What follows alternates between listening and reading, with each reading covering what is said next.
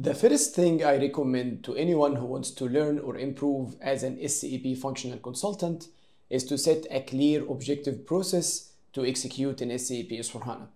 For me, for example, the first objective is always to execute a full procure to pay process. I'm talking about a simple purchasing process starting from the purchase order, goods receipt, and invoice receipt.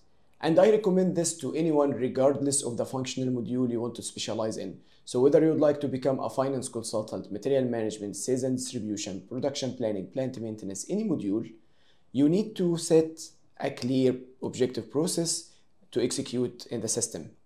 Once you set up this objective, then you will have a clear learning path to learn the configuration and the process execution SAP. Let's take the procure to pay process as an example.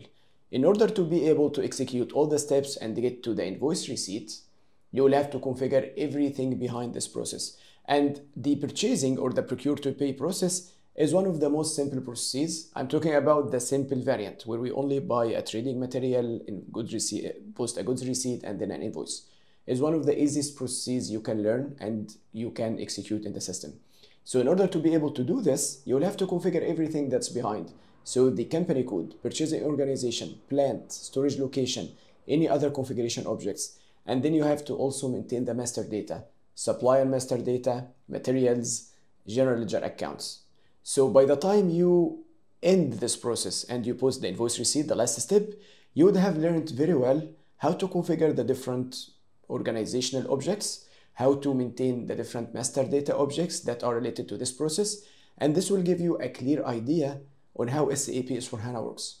Because once you are able to execute one process end to end, you will be able to understand how things are connected, how the different modules are integrated, how the finance is integrated in everything, and you will be able to use your own justification after this to learn any other process that you have not seen before. I have tried this with many SAP students throughout the years, and it is a brilliant idea. The reason I do this is because if you decide to study SAP in the traditional way, starting from the configuration and then getting up to do a process, you are going to lose your way because SAP is a huge system. It is created in order to adapt to so many industries and to medium and huge enterprises. So if you say that you are going to discover SAP from the configuration or from the back end, so you go to the configuration menu and you start scrolling to the different nodes and going into the different screens and looking into all the fields trying to understand what they are, you are going to lose your way and you are going to lose your mind. SAP is huge. Whenever you learn SAP and even in real life, whenever you work in SAP in real projects, SAP is always oriented by the business process. So you always have to find a business process to execute and then configure the system behind. Never try to configure things or to go and explore things without having a process. The second reason this is a brilliant idea is because it will teach you how to configure a full end-to-end process on your own. Remember that in SAP, most of the processes are integrated between different modules. So in order to run a process end-to-end, you have to configure different modules. And if you would like to learn SAP on your own, and for example, you are not able to configure the finance part, I'm talking about the basics. So the basic account determination, the basic posting schemas and so on, you will never be able to test a process end to end on your own. And you'll always need someone else to help you set up your test cases.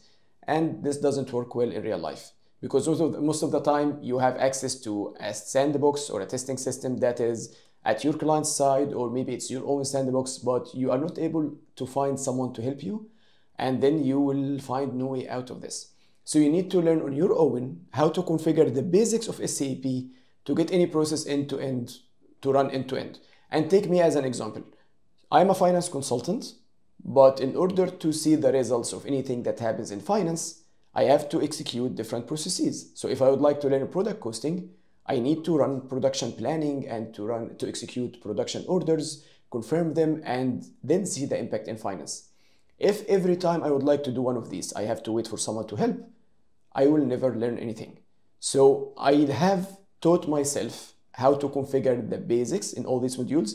I'm not an expert in production planning or material management or sales and distribution, but I'm able to run a process end to end and to configure the system to run a simple process end to end to get my test cases going and to be able to learn the part that I'm interested in.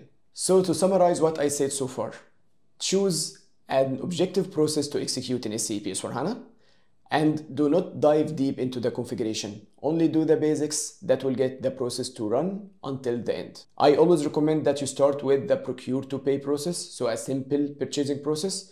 I have already explained on the channel the process steps and I also demonstrated how to run it end to end without configuration, but I have shown how to run all the steps. For the second process, I always recommend a standard order to cash process. So a simple sales process where you sell the material that you purchased in the first one. You buy the material in the procure to pay and then you sell the material in the order to cash until you get to the customer invoice. Now, before you start thinking that it is very hard to learn all the different modules that are integrated in the process and that it's very hard to do this on your own, remember that I'm here and this is what I'm going to do in this playlist. So now I have decided to create a new playlist that I will call something like configuration, SAP configuration from zero, where I'm going to start really from zero. I'm not going to copy anything in the configuration. I'm not going to copy any master data. We're going to start together from the creation of the company code, the configuration, controlling areas, purchase organizations, everything until we first get to run a full procure to pay process and then until we run a full order to cash process. If you have been following the videos on the channel, then you already know that I have a configuration document that I share with the channel members where I save step by step all the configuration activities that I always do to run any demo that you see on the channel.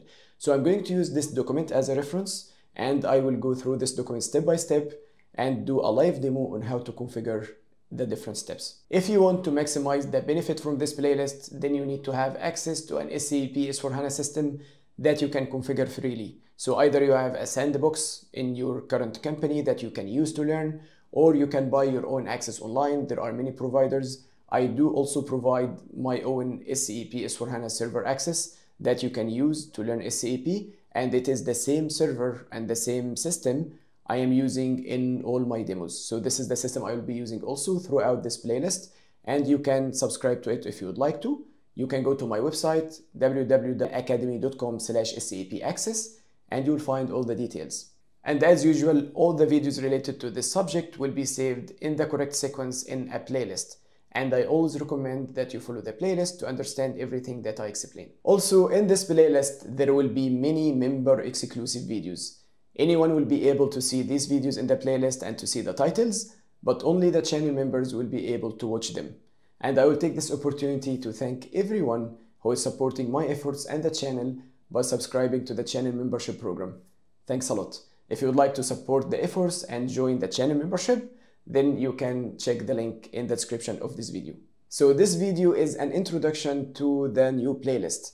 And before I end this introduction, I really encourage you to go to the comments section and let me know what you want me to include in this playlist. As I always say, whenever I start a new playlist, I'm always still constructing the approach, I'm still gathering different ideas.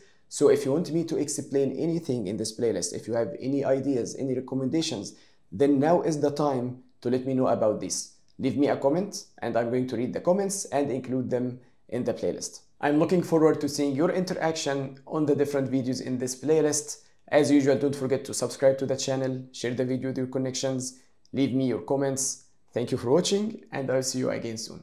Let's go.